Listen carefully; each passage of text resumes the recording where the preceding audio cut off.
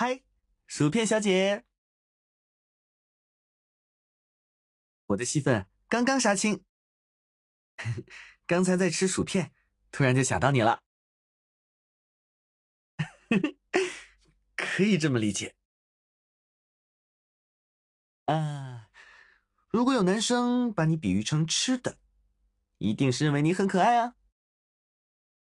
当然了，你不相信我吗？不要因为我的外表忽视我的才华哟。啊，对了，夏星怎么样了？太好了，我也很想去看他。本来电视剧杀青之后我就有时间过来的，但是新专辑发布会的日期提前了，所以这段时间我正在闭关筹备新专辑。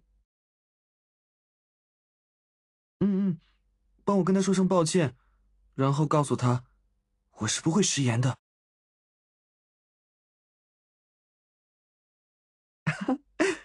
哦，还有一件事情想麻烦你。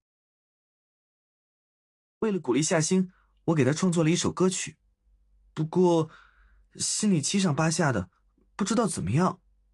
你可以作为我的第一个听众吗？太好了，我一会儿把录好的 demo 发给你。多多提出意见哦，我就知道你会答应我的。